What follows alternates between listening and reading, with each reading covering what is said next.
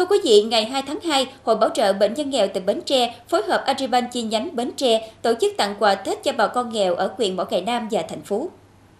Tại huyện Mỏ Cày Nam, 100 phần quà Tết được gửi đến bà con nghèo xã Tân Trung và Minh Đức. Và huyện thành phố, 100 phần quà Tết cũng được trao cho bà con ở xã Thành Phong và Thành Hải. Mỗi phần quà trị giá 500.000 đồng, gồm nhu yếu phẩm và phong bao lì xì để bà con có thể mua sắm thêm theo nhu cầu của gia đình.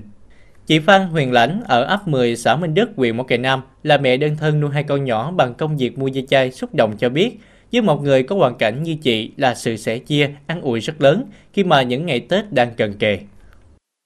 Rất là cảm ơn rất nhiều hoàn quà đối với em là rất là có ý nghĩa để cho em được à, nó giúp cho em phần nào cho con em trong dịp đón xuân. Mỗi người một hoàn cảnh nhưng tất cả những hộ nghèo gia đình khó khăn đều giống nhau ở một điểm chung, đó là sự thiếu thốn về vật chất. Ngày thường đã thiệt thòi, ngày Tết lại chẳng được trọn vui. Thấu hiểu được điều này nên dù năm nay công tác vận động gặp nhiều khó khăn hơn, nhưng bằng nhiều giải pháp hướng đến nhiều nhà hảo tâm, nhà tài trợ, nhất là bà con đang kinh doanh, lập nghiệp ngoài tỉnh để khơi gợi tình thương thân tương ái, Hội Bảo trợ Bệnh nhân nghèo tỉnh Bến Tre đã nhận được nhiều sự đồng hành. Chúng tôi đã có chương trình triển khai là bằng mọi cách phải phấn đấu, vận động cho được 3 tỷ đồng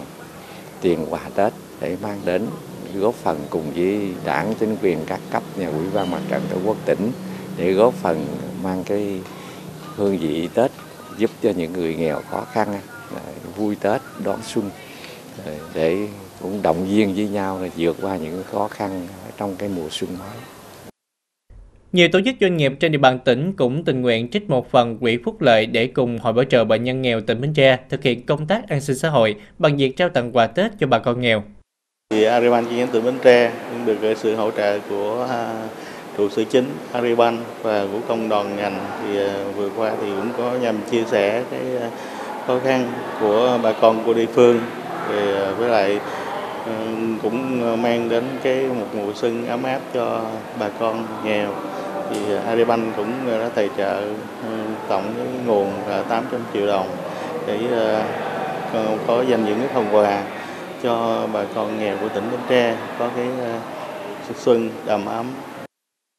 Tết Nguyên đán là dịp mỗi gia đình đoàn tụ trong không khí thân tình ấm áp và đủ đầy. Tuy nhiên đâu đó vẫn còn những phần đời, những gia đình nghèo chưa có được cái Tết trọn vẹn chia sẻ niềm vui ngày Tết với người nghèo để mùa xuân thêm vui, Tết thêm ý nghĩa, đang được nhiều tổ chức cá nhân doanh nghiệp hưởng ứng bởi niềm vui sẻ chia, niềm vui nhân đôi.